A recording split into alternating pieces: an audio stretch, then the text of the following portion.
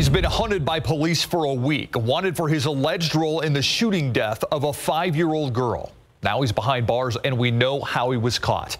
18-year-old Abdi Hassan Abdi arrested this morning by the Lone Star Fugitive Task Force and charged with the murder of five-year-old Ana Garza. Tim Gerber has new information in this case, including a possible motive for that shooting. Abdi Hassan Abdi did not answer that question as he was led to a patrol car in handcuffs nearly a week after shooting five-year-old Ana Garza and her stepfather, Carlos Aguilar, at their home in the 800 block of Pecan Valley Drive.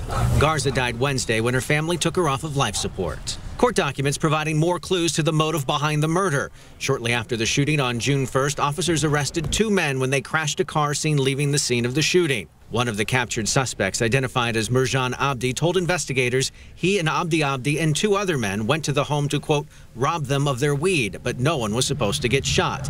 They lured Carlos Aguilar out of his home by telling him they accidentally hit his parked car. When he came outside, the four men surrounded Aguilar with guns. One pulled a shirt over his head and held a gun to his head. Aguilar was apparently shot in the neck when he tried to grab the gun as the assailants led him back towards the home. He was then shot several times in the chest. Mirjan Abdi told investigators he believes Abdi Abdi then fired shots at the home, one of which struck Ana Garza in the head as she slept in a front room. One of the suspects broke a window and climbed into the home, but then left when they heard police coming. On June 7th, homicide detectives were contacted by a person who knows Abdi Abdi and said she knew where he was. That witness telling investigators Abdi reached out to her on Facebook Messenger three days after the shooting and said, quote, he did not mean to do that to the little girl, adding, we all fired guns.